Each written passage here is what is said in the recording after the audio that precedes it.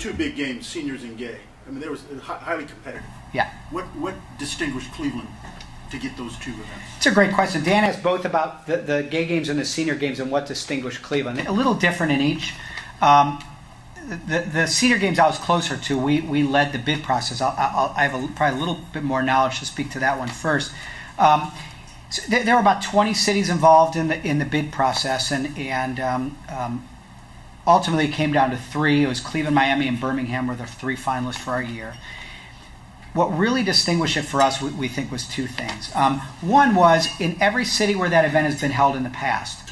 Um, and this is more typical for these major events, what happens when they go to a community. A separate, called local organizing committee is formed. A separate new nonprofit is formed, and a director is hired, and, and, and you build up a new organization to run and manage the event. In our case, we, we, had, we, we um, believe it or not, a 14 staff bill, we're probably one of the, the three largest sports commissions in the country. Um, it- because it's business of, of being able to run and manage events. So we're able to say to them is, you're meeting the people who are going to run your event. And we have an infrastructure behind it. The board of the sports commission will, in essence, serve as the board of this event. And, and the staff you're meeting, who we ran the international children's games, we, we ran the NCAA women's final four out of our office. So that helped a great deal. The other, I think, what, what really pushed over the edge, and I'll tell you a comment that, that led to us uh, um, knowing that, we did something for two other events, the, the International Children's Games in 04 and the Women's Final Four in 07, that we did a huge amount of community programming around the event. So for the Women's Final Four, and this was part of our bid for that event, we really we realized that that was the largest, in most most people's minds, the largest, most important women's sporting event in America. So we said, you know, it could mean a lot more to the community than just a big basketball tournament. And we ended up, uh, uh, very long story short, creating a whole year long set of programs called Women Rock. That we had 11 different programs that had over 10,000 individuals that were involved in the programs, most who didn't have a ticket to the Women's Final Four. Easy things like we had Billie Jean King come in and speak at the City Club. We had, um, we, we held this 35th um, anniversary uh, conference on Title IX, uh, biggest conference on Title IX since its founding, and, and some really all kinds of partners around the community. And if, it, what was interesting was the NCAA. They th- four months after our event, they were bidding out the women's Final Four for the following three years. They added an entire section to their, their bid book on community programming as a result of what Cleveland did for the event. So when we had the senior games folks in town, we spent the other communities. We found out later. Spent you know they were there about two and a half days. Two and a half days showing them facilities and, and making sure, convincing them that you know we have we have the capacity to run the event. That you know that Miami or Birmingham, as we do with Cleveland, the infrastructure's there. We, we, we the very when they when they got off their plane, we had I remember we had a we had we had a private room at John Q's. We gave them a presentation, and what we said was, we're going to show you today all about how we can run and manage the event. But the rest of the time, we're going to have you hear about what we plan to do with the event from a programmatic standpoint. And we had the clinic and UH and Metro and Benjamin Rose Institute and all these organizations involved in meeting with them and hosting meetings about how we can make their event better. And that's what we started to do now. We, in fact, the very first full-time person we hired on the senior games was not about sports, it was not about fundraising, it was about programs. And we've already, and we have a huge committee, and it's it's developing how do we how do we leverage having this event in town. And what we said to them is, it's not only better for Cleveland, but we'll make your event better. The next time you're going to bid out to a city, you can not only talk about how economically that event's great for Minneapolis or your next city, but you could talk about how if you do it like Cleveland did, it'll be that much more valuable. And when we had a press conference um, to, to announce the games coming here, their director came to us and said, he said, you know, so that, that, Jerry Maguire line of "You have me at hello." He said, when you guys talked about that in that very first meeting you had, he said our staff and board walked out saying we're coming to Cleveland, even before they had gone to Birmingham and Miami, or they had seen our facilities. They said nobody else has thought like that. And I think in the case of the gay games, in some ways, I think it was similar.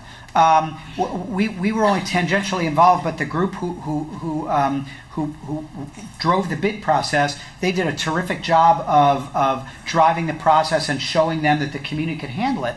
But what we've heard from the Federation of Gay Games is one the three finalists through a long process were Boston, Washington, and Cleveland. And I think what they looked at and what we sold them on quite a bit was we the gay games can make a big difference here. If you go to Boston or Washington, which has a much more established LGBT community, it'll be a great event, but it's not going to be transformative. If you come here and, and, the- and, and, the gay games goes well, it could be transformative for the community. And they really like that idea that in addition to their event having a big economic impact on where it goes, it can really it can really transform a community. So um, I I think in many ways that's become a hallmark of, of Cleveland's ability to run and manage these major events and do it in a way that, that adds a great deal of relevance above and beyond just the hotel rooms that it would fill. Next question. Staying on those two sets of games, you know, we all want to see something really positive happen with them. I- Are there ways that the local community leaders can get involved, and what do we have to do to do that? I, I, thank you. I appreciate that question. Um, the question for those who didn't hear: is there a way for people in the community to get involved in those kinds of initiatives? And the short answer is absolutely.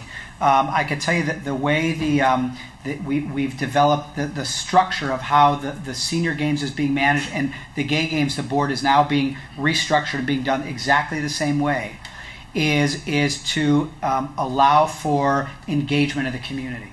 Um, so there are there are so for instance with the senior games we're very fortunate we have three chairs of the event Toby Cosgrove from the clinic Beth Mooney from KeyBank and Jeff Friedman the CEO of Associated Estates Realty I mean, great great community leaders but beyond that there's about eight or ten different committees and and um, every one of them our program committee has probably 25 different organizations and people involved.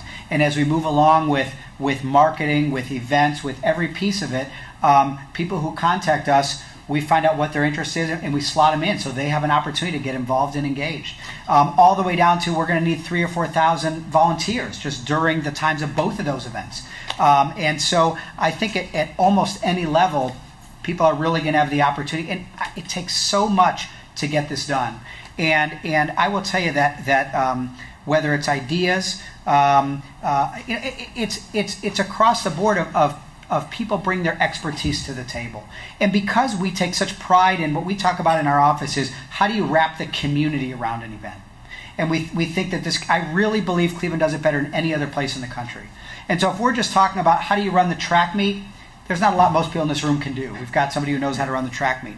But what, what, when we want to make those 35,000 people feel special and do the little things right and the little things better than other communities do, so when they walk away, they saying they say Cleveland did it better than anybody else. It's what people bring to the table in their ideas and their expertise. And and um, you know, while we have to raise money, there's so many little things, even from an in-kind standpoint, that people. It, it, it is amazing what people will come up with to say, you know, I can do this for you. I can help with this. I know somebody here, or I'm just willing to put my time and my ideas. So um, I think if anybody ever contacts our office at the Sports Commission, um, there there is tremendous opportunity.